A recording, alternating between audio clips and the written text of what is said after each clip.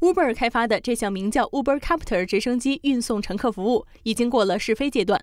目前测试航班的起点从曼哈顿直升机场飞至肯尼迪国际机场，航程大约需时八分钟。每架直升机可装载五人，平均费用预计在二百美元到二百二十五美元之间。乘客可以根据需要提前五天预约。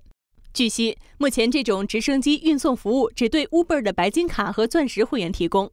虽然纽约市已有直升机来往机场的业务，但 Uber 公司表示，该公司推出的这个业务是包括市内和机场所有陆路交通的一站式方案，并且可以透过智能手机城市预订。据悉，Uber 公司将于下个星期在华盛顿召开直升机业务的新闻发布会。新唐记者唐成综合报道。